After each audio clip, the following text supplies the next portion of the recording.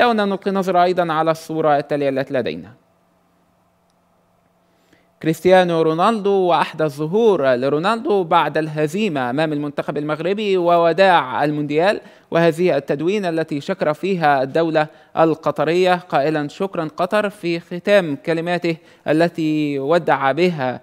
المونديال. طبعا هو أصر على أن يظل باقيا داخل الدولة القطرية وألا يغادر الدوحة إلا بعد نهاية المونديال خاصة وأننا نعلم حب شعوب العالم لواحد من أهم نجوم الكرة العالمية وهو كريستيانو رونالدو إلا أنه ذكر بأن الجمهور القطري مرحب به بشكل كبير بأنه يشعر بالراحة بالأمن بالأمان داخل قطر وأنه يود متابعة البطولة حتى النهاية وهذا الأمر نادرا ما يحدث. يعني نجد بأن اللاعبين الذين هزموا في هذه المباريات يكون لديهم حالة من الاكتئاب من الحزن يودون العودة للديار في أسرع وقت بعد هذه المدة الطويلة